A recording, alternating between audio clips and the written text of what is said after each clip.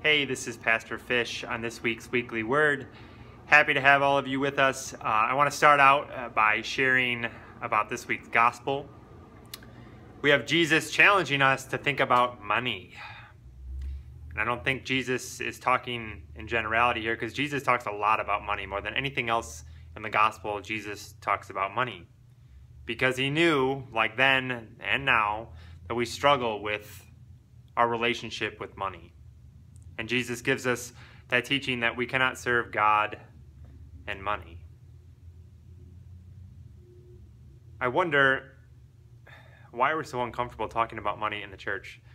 Because money isn't bad. In and of itself, money is good. When money comes together to do work uh, for the betterment of the community, that is awesome. When you see people coming together and giving to a cause, it's incredible. So, why is the church so scared to talk about money? And I want us to talk about that because really, Jesus doesn't say money is evil, money isn't dirty.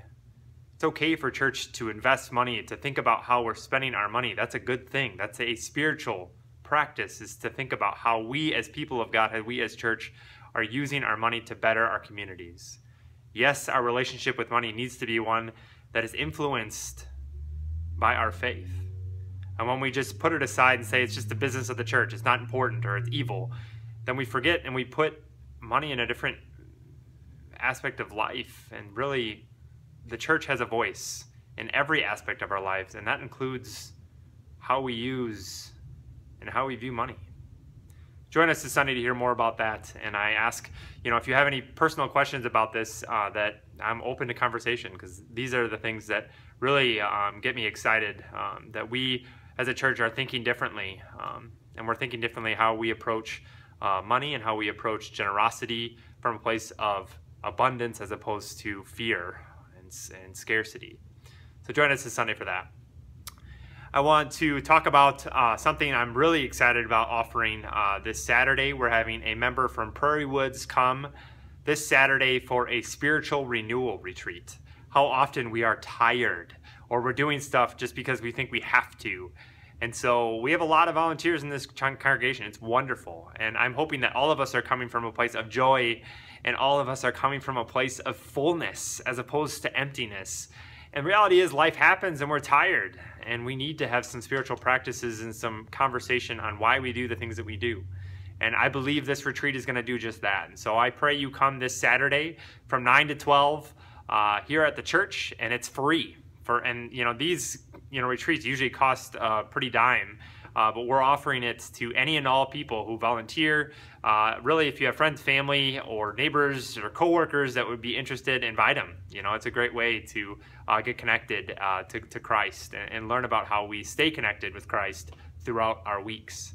Um, so join us this saturday for that. I want to draw your attention to that the next thing I want to discuss is prayer. And I was at a training uh, here this morning, this afternoon, and there was a very interesting conversation around prayer. And the speaker challenged me a little bit because he said, you know, prayer is not about praying for the daily stresses in our lives. Prayer is about being bold. It's for the shapers and the builders it's for thinking about the ways in which God is calling us to bring in new people to the work site.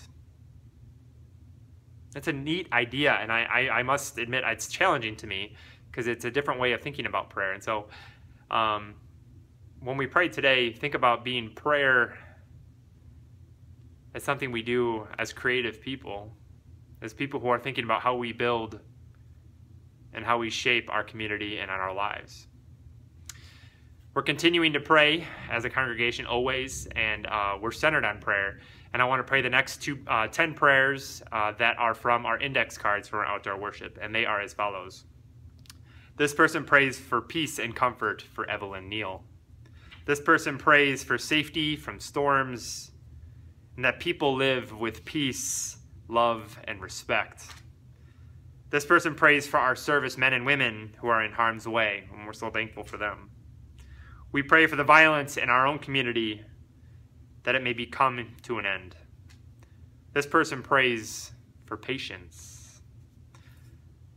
This person prays that your peace may surround our whole world and every nation.